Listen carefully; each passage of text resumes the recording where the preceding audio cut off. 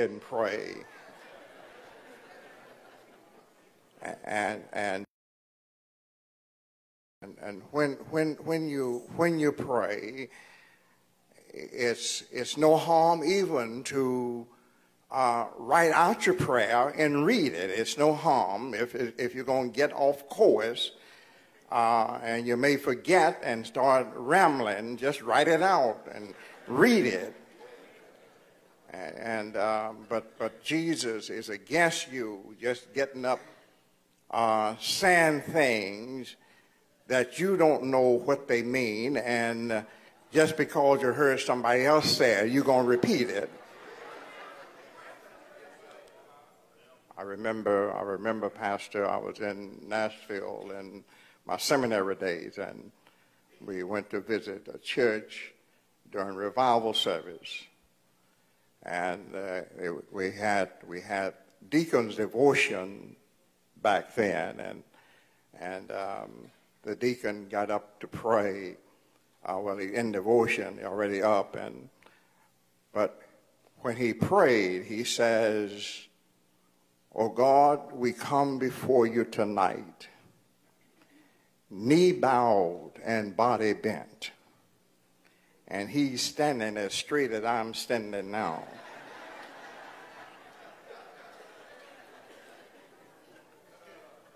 he, he doesn't he doesn't he doesn't need all of that trying to be impressive for people to say how well you prayed. He just wants you to pray. So he says, he says, he says, um, when you pray, go into your room and shut the door. Shut the door on your husband or wife. They should know that you have a time you need to get along with the Lord. And, and, and, and they shouldn't be bothering you during that time and, and shut the door on the children.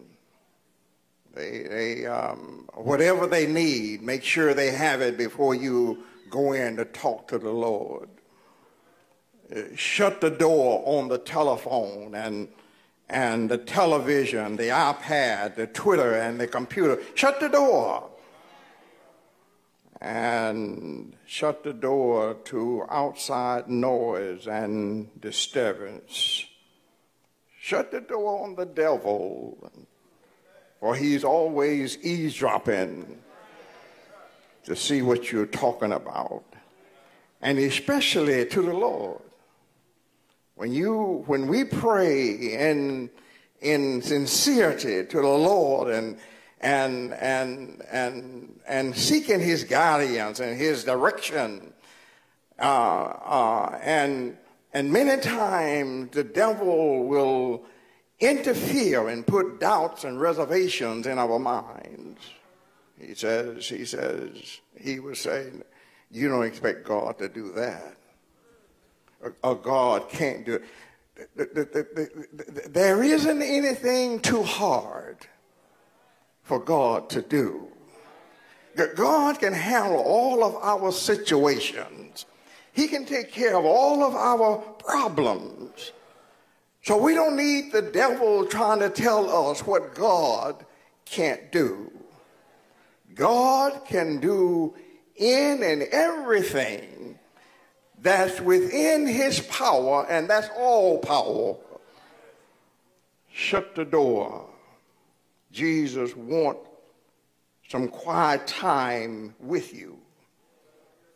He wants some private and quality time with you. Uh, like he had with his father when there many times he would get away. He shut the door, so to speak, on his disciples and the people. He got away for some quiet time just with him and the Father. Uh, he had to get away from anything and everything that would be a distraction during his prayer time. you, you, you don't want to be talking to the Lord and the phone ring and you got to put the Lord on hold.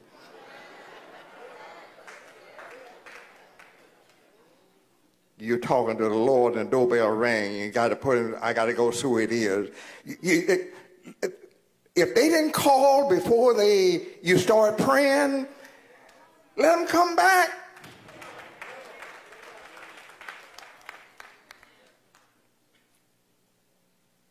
Shut the door.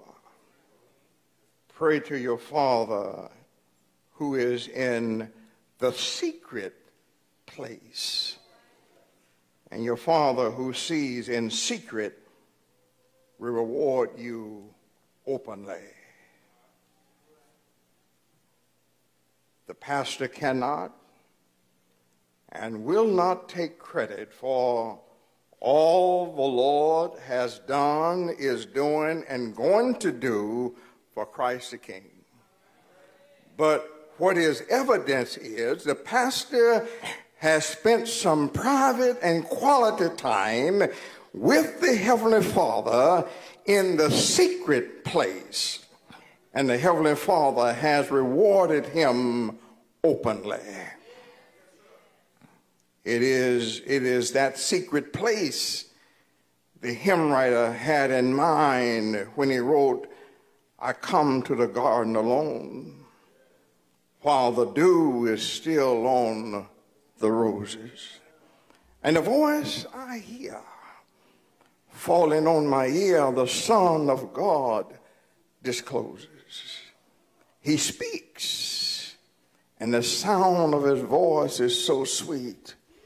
The birds hush, they're singing, and the melodies that he gave to me within my heart is ringing. He, he walks with me, and he talks with me.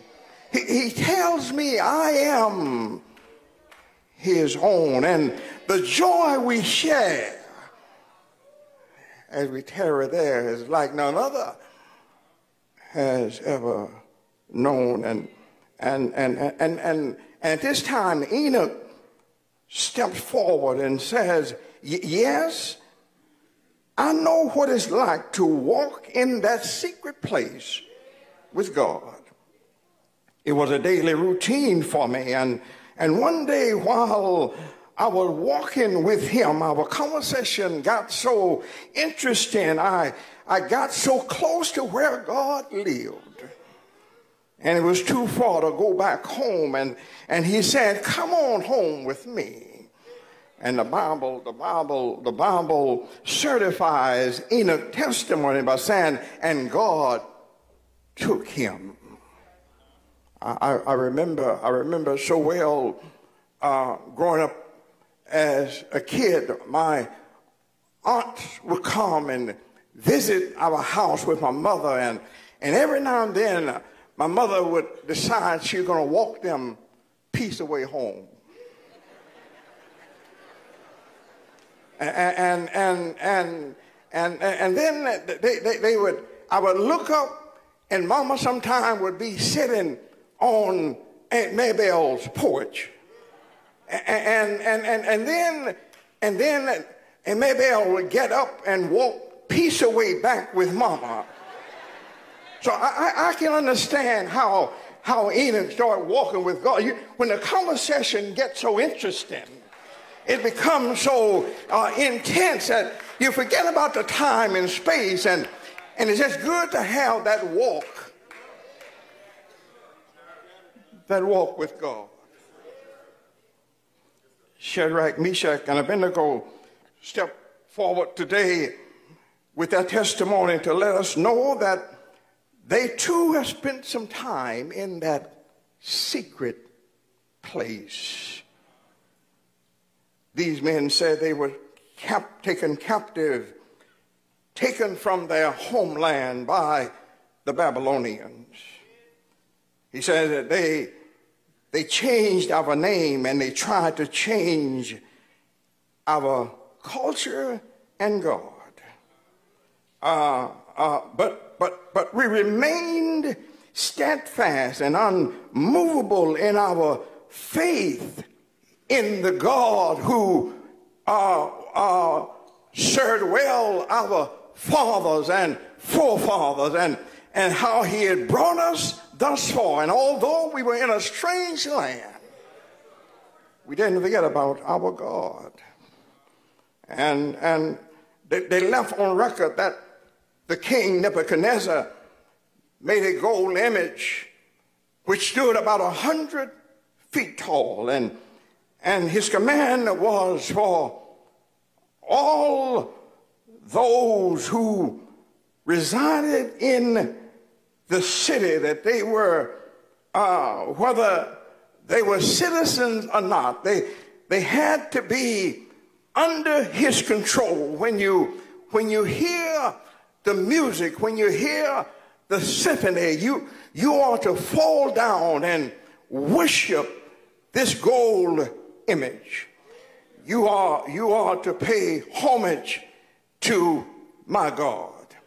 And, and, and, the, the day of worship, when the time came for uh, the music to play and for all of the people, every nation and language who were in that city, when they heard the music, they were to fall down and worship this gold image.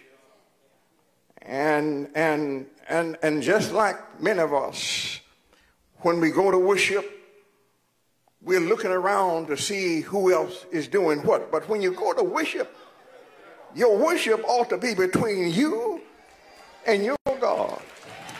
You, you ought to be so focused on what God is saying to you that you shouldn't be concerned about what's happening way over here. But but but when when when when the music sounded and when everybody bowed, there was somebody watching. And they observed, they observed that everybody didn't bow. And they went, they went to the king and said, uh, King, when the music sounded, everybody bowed but three Jews. They, they, they, they, they, they, didn't bow. And, and, and King, I, I want you to know that these three men hold key positions in your administration. They, they, they don't respect you, nor do they respect your worship. They didn't bow down, O king. The king says, Bring them, bring them to me. These three men walked up before the king. King asked them, Is it true? You did not, you do not serve my gods or worship the gold image I've set up. The king says, maybe you'll have a language problem. Maybe it's something that you don't understand and and and and, and maybe because of your misunderstanding I can help you at this point. And and I'm willing to answer any of your questions and but when the music sounds that means everybody has to bow. And now, if you are ready at this time to fall down and worship the gold image which I made, I'm ready to repeat the ceremony so you can follow through like everybody else. And if you don't worship, you shall be cast immediately into the burning fiery furnace.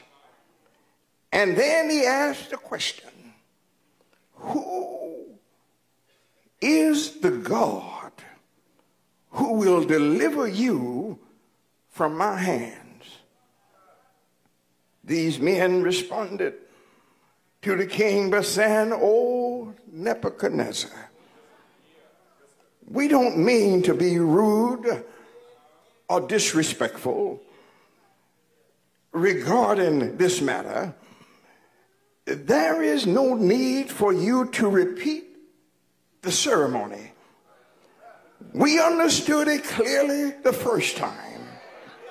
We understood it took a man for worship. We also uh, understand and accept your punishment for not worshiping your God. But we cannot bow down to God who has eyes and cannot see. We cannot bow down to God who has ears and cannot hear. We cannot bow down to God who has hands and cannot hold our hands. We cannot bow down to God who has feet and cannot walk. We cannot bow down to God who has a mouth and cannot speak. We cannot bow down to God who uh, has no life and who cannot help us. But the God, but the God, but the God we serve is able to deliver us from the fiery furnace. He, he's able uh, to deliver us from your hand, O King. And if he choose not to deliver us, let it be known this day to you, O King we will not serve your gods, nor will we worship the golden image. The king, the king, the king was furious. And he had the men call his strong soldiers who was in his army, told them to heat the furnace seven times hotter than usual. Told them, told them to tie up the men and prepare them to throw them in the furnace. And, and while this was going on, I want to inform you that it was, it was a brief conference going on in heaven. God, God, God called Gabriel and said, Gabriel, how long would it take you to get to the furnace? Gabriel says, it would take me about a minute. Michael, how long would it take you to get to the furnace? Michael said, about 60 seconds. God asked Jesus, how long? will it take you to get to the finish? Jesus said, I'm already here. I'm, I'm, I'm standing. I'm standing waiting to greet the men, to escort them in. They, they, they are, they are, they are prepared. They're bringing them now, and I, and I'm, I'm, I'm, I'm here. And, and when they brought them in, the Bible said the furnace was so hot. Y- y'all sit down. I ain't, I'm not going. uh, uh, um, uh, the, the, furnace was so hot un- until until the men who brought them to the furnace, the heat killed these men. But when when when uh, uh, when the three Hebrew boys got to the furnace, Jesus was there. And, and he untied them. And while the king was sitting in his chair observing the execution, uh, he happened to look up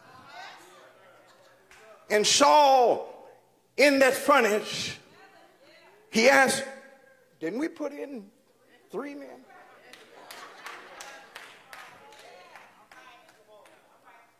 but there's four. They are walking around in the furnace.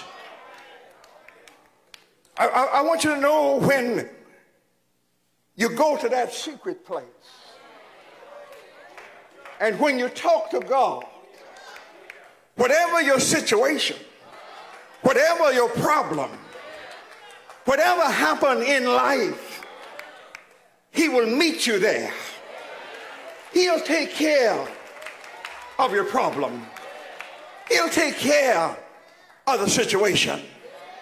The king jumped off of his seat, went running to the furnace, calling the men out.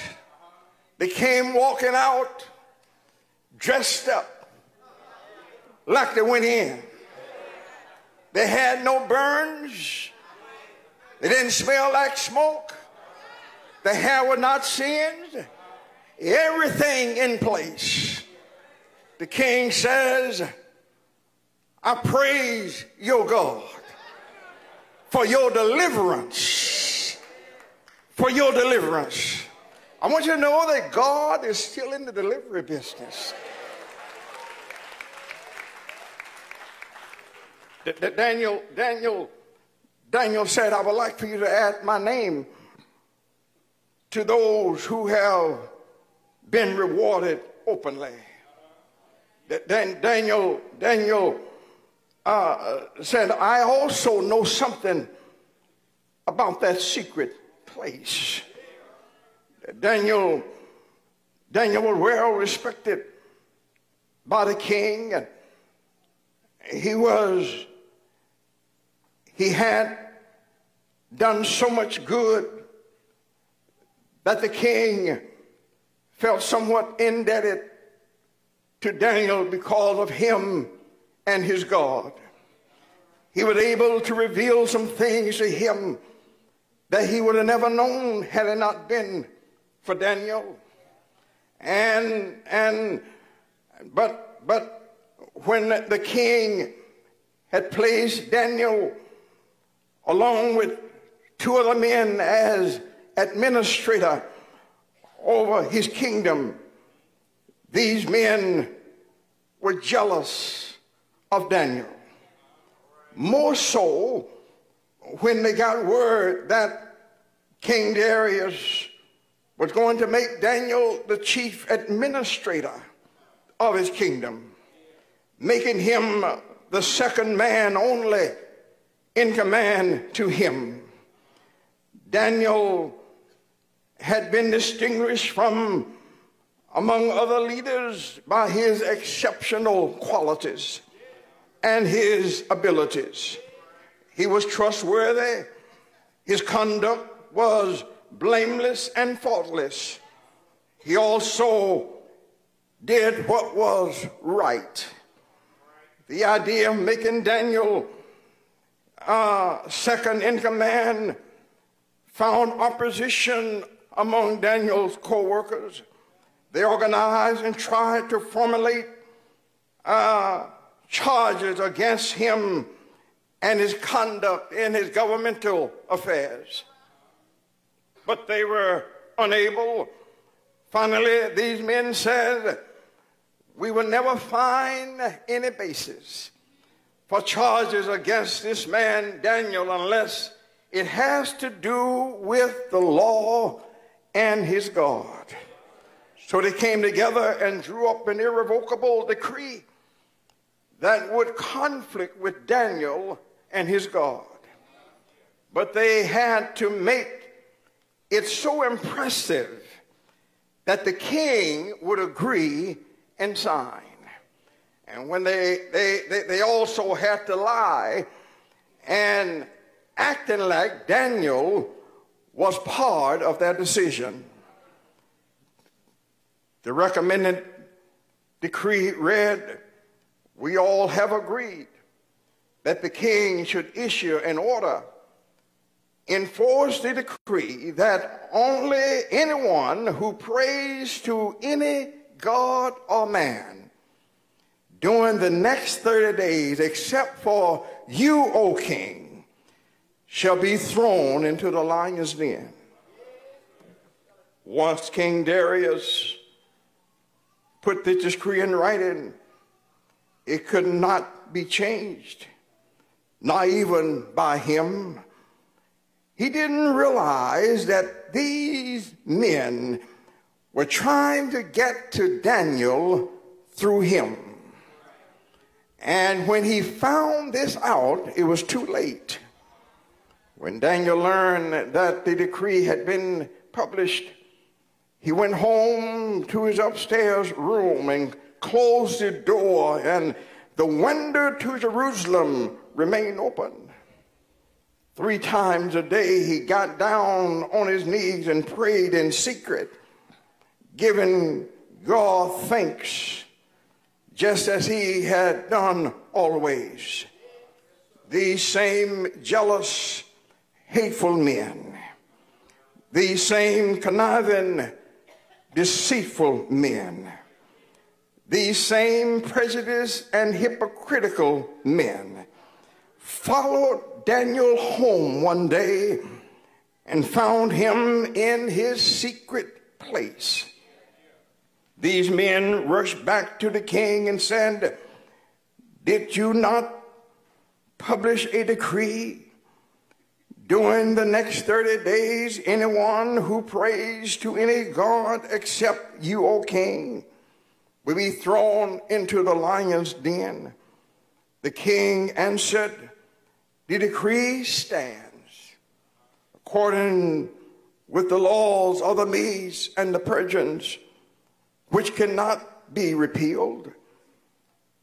Then these same men said to the king, Daniel, one of your, one of the exile, exile Gentiles from Judah uh, pays no attention to you, O king, or the decree you have put in writing. He still prays three times a day. When the king heard this, he was greatly distressed. He was determined to keep Daniel out of the lion's den made an effort to find a way to do so. But the trap was firmly set. Both Daniel and the king were caught in it.